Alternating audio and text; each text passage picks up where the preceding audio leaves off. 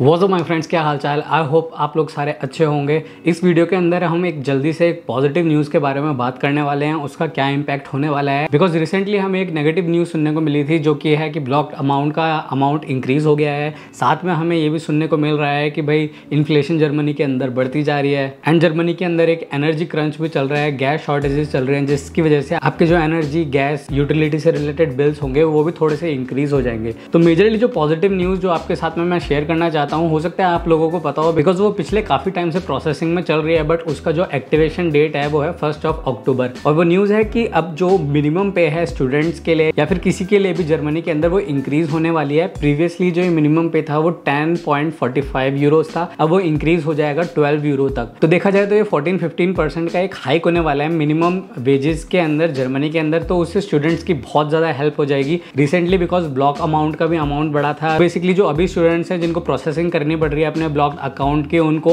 Extra amount add करना पड़ रहा है अपने अकाउंट में। बट आपके लिए जो ये पॉजिटिव न्यूज़ है, जिसकी वजह से ये बेस मिनिमम सैलरी इंक्रीज हो रही है, उसका मतलब ये है कि आप जो ये एक्स्ट्रा अमाउंट है, उसको आप इजिली अर्न बैक भी कर पाएँगे। जब आप एज ए स्टूडेंट वहाँ पे जॉब करेंगे जर्मनी के अंदर, तब आपको जब अब मिनिमम पे मिलेगी, वो ज़्यादा मिलेगी। लेट से कि कोई स्टूडेंट पहले one zero four five euro per month earn कर पाता था तो वो अब इजिली सेम ही काम करके उतने ही टाइम में अब ट्वेल्व हंड्रेड यूरोज अर्न कर पाएगा। या फिर लेट से कि कोई दो हज़ार नब्बे यूरो पहले कमाता था तो वो अब चौबीस सौ यूरो कमाएगा। तो इस तरीके से आपकी सैलरी भी अब इंक्रीज हो जाएगी। और बस स्टूडेंट को इससे बेनिफिट नहीं होगा। जितने भी कुछ लो वेज अर्नर्स होते हैं, जैसे ब्लू कॉलर जॉब होती है, बहुत सारे जो फुल टाइम जॉब भी करते हैं ब्लू कॉलर कैटेगरी के अंदर, उन सब की भी सैलरीज हाइक होने वाली हैं। बिकॉज़ जब बेस सैलरी हाइक होगी तो मोस्टली ऐसी जॉब्स जो होती हैं बेस मिनिमम सैलरी पे हो रही होती हैं तो उन सारे लोगों को उसका बेनिफिट मिलेगा। और इसी के साथ में एक अपडेट हो गया है, जो एक मिनी जॉब की कैटेगरी होती है जर्मनी के अंदर। तो बहुत सारे स्टूडेंट ऐसे होते हैं, जो कहेंगे मिनी जॉब्स कर सकते हैं वो लोग। तो मिनी जॉब्स की जो अभी तक सैलरी होती थी, वो थी four hundred and fifty euro की लिमिट होती थी मंथली बट अब वो भी इंक्रीज होकर five hundred and twenty euro पे कर दी गई है। तो मिनी जॉब्स की सैलरी में भी देखा जाए तो इंक्रीज कर दिया है about fifteen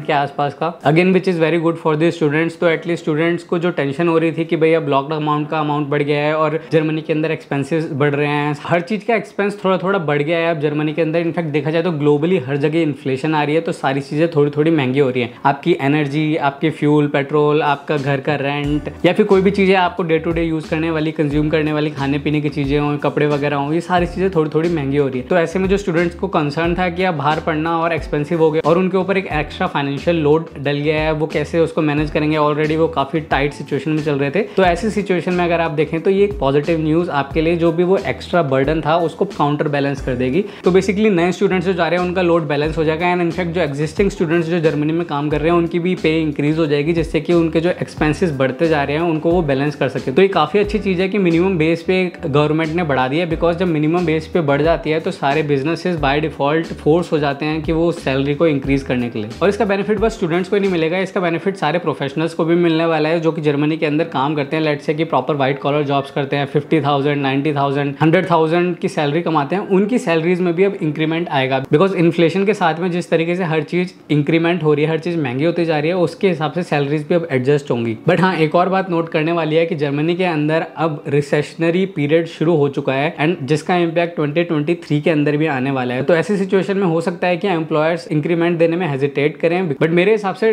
towards the end of 2023 जो ये इंक्रीज अमाउंट है, इसका बेनिफिट प्रोफेशनल्स को भी मिलने लगेगा। तो जो ये सैलरी इंक्रीमेंट है, ये effective from first of October है। जिस तरीके से हमारा ब्लॉक्ड अमाउंट का इंक्रीज भी फ़र्स्ट ऑफ़ अक्टूबर से है तो काफ़ी सारे जो लीगल चेंजेस गवर्नमेंट की तरफ़ से आ रहे हैं, जर्मनी के पूरे सिस्टम के अंदर फ़र्स्ट ऑफ़ अक्टूबर से इंप्लीमेंट हो रहे हैं। तो आई होप ये पॉजिटिव न्यूज़ भी आपको एक एक्स्ट्रा बूस्ट देगी कैन आपको एक सेटिस्फेक्शन देगी कि हाँ आगे आने वाला जो थोड़ा सा महँगाई का और हार्ड टाइम हो सकता है, एक रिसेशनरी पीरियड हो सकता है, उसको आप इजिली क्रॉस कर पाएँगे एंड उस टेम्परेरी रिसेशनरी डिप के बाद में जो एक फ़ेज़ आएगा पॉजिटिव फ़ेज़ आएगा, उस पॉइंट के बाद तो सारी चीज़ें धीरे धीरे इंप्रूव ही होती जाएँगी। So that is it for this quick video I see you later in the next video with स्पेटा